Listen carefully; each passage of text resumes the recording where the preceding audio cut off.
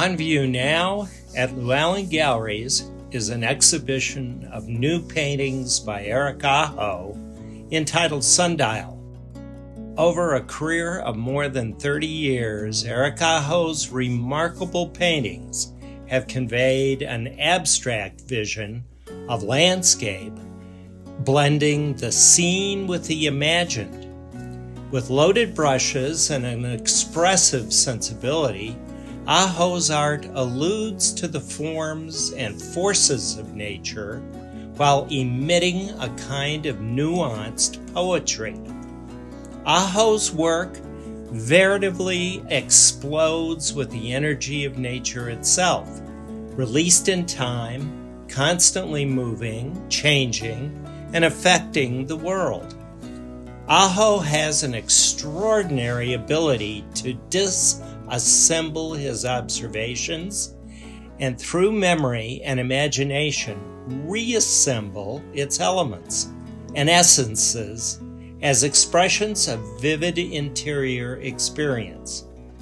Painting the natural world is a unifying event, a fulfilling register of my own experience amid the presentness of this landscape.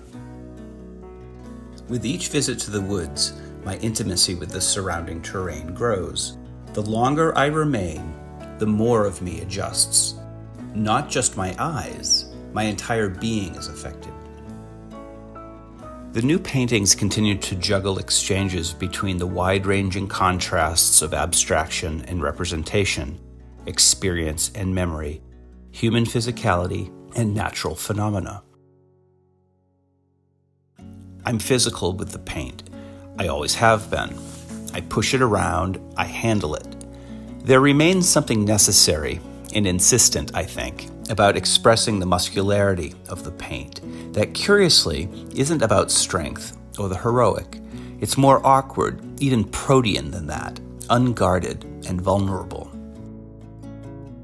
One can't help but see the fragility of the landscape on close reading of its spaces and forms, while wrestling them into place on the canvas.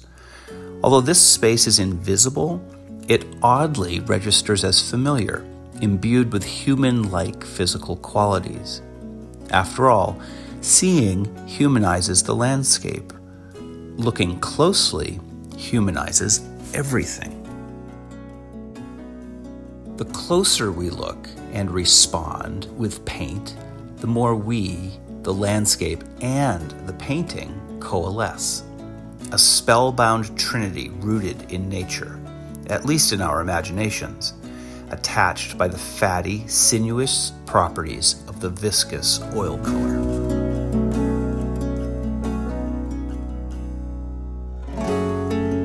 Abstraction offers Aho the opportunity to find novel ways of recreating forms of nature in his art.